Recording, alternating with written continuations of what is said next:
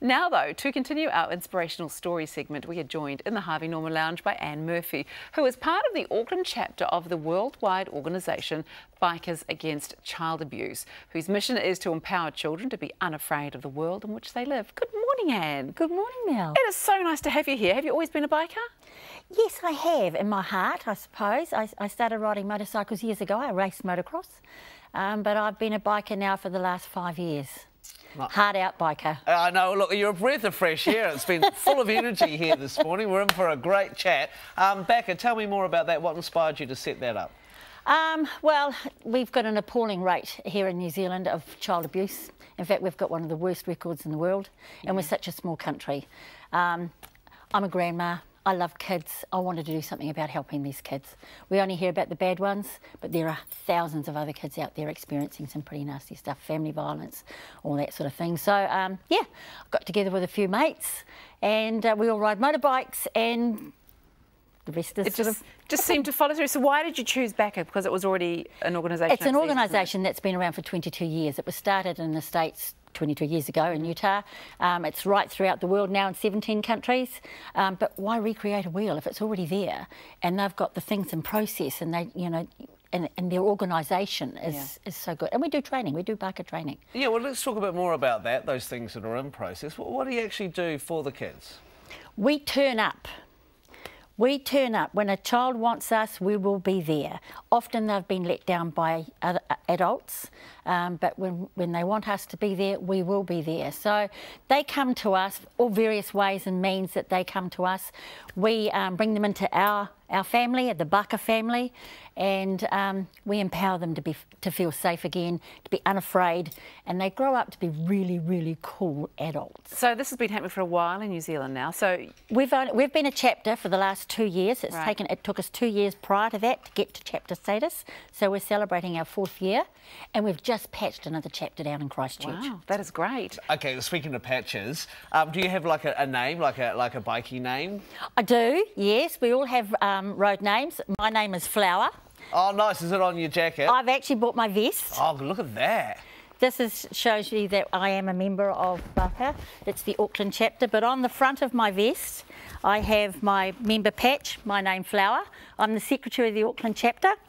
I'm also an original member, and that there is my personal piece, my personal item that my granddaughter drew that for me. That is beautiful. I absolutely love that. That's gorgeous. Where gorgeous. did flower come from?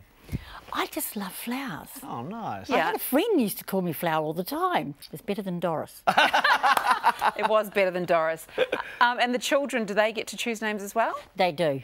Yes, we actually ask, we, we let them choose their, o- their own name, and it's important for them. The reason we have road names, and we all have road names, and in, including our children, is because it gives them a level of protection, so that they are they then feel as if they're part of our organisation and mm-hmm. our whānau, and it's really important for them. They feel they get their own vest.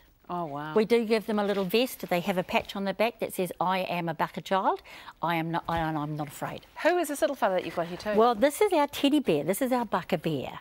So we have this when we have a child, when we when a child comes to us, we do a ride to the house. We actually call it an empowerment ride, so the whole chapter ride. And we turn up at the house, we give the child their vest, and then we give them a BACA bear. Now every one of us hold it, fill it up with our love, and we give it to the child. And every so often it might need to be refilled so we can tell the child, come and give us a call. We actually assign them two primaries. So they have a phone number that they can ring any time at any time of day or night. We will be there. We will turn up. And there's always two of us that will be there. It's safety first for the children. wow. And, and when it comes to dealing with with families, how does that go? Because I guess you know the whole bunch of of bikies turning up at the house sometimes may be a little bit intimidating. But how do you how do you get around that problem? Well, we're bikers. um, and yes, the idea that we are bikers and doing this role, and yes, we are, there is a level of intimidation, that's for the perpetrator to be aware that don't mess with us. Okay, cool. And it also makes the, the child feel really, really Oh, I secure. think it'd be Safe. amazing Yeah, if a whole yeah. bunch of bike, bikes Oh, turn no, up no. So tell us about the event that's coming up on December the 10th. We actually are now working very closely with Oranga Tamariki, and we have got a, it's a private um, fun day for our kids that we're, we're going to put on a Christmas party for them. Um, and of course, we're also working with uh, Steps Forward uh, in Rodney District. So we're putting on a little party for them for Christmas to celebrate their year, just to give a little bit of fun for them. Um, and it's just our way of giving back to those kids that give to us as well. Wow. I so love what you do. Where do you want to see BACA in the future? I'd love to see more chapters here in New Zealand. I'd like to have a lot more awareness about who we are, what we do. Um, but yeah, I, our goal is to save one child at a time. If we can save one child, we'll break those chains of abuse.